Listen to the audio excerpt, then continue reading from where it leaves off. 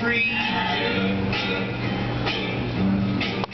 Knocking great big monsters dead on their knees. The cats don't bug them cause they know better. Cause he's a mean motor scooter and a bad go-getter.